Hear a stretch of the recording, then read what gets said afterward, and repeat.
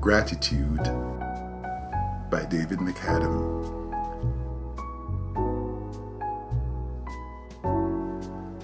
Whenever I look about me, my heart wells up inside to see how richly I've been blessed with wants and needs supplied.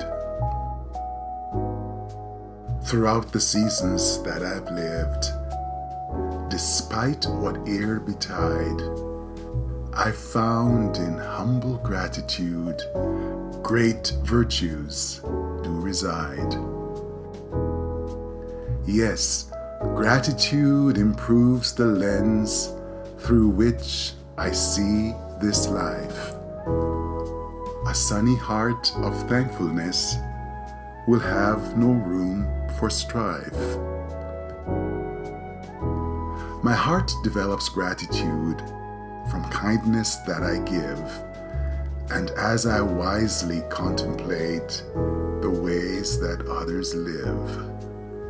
In times of doubt, with spirits low or testy attitude, self grounding and upliftment spring from simple gratitude. Appreciation I must show at every chance I get. A grateful heart, a selfless heart, knows good will good beget. And when in all things I give thanks, in thoughtful, timely ways, goodness and mercy circle me and follow all my days. With each gesture of thankfulness, my mind becomes renewed. Nothing shall I for granted take.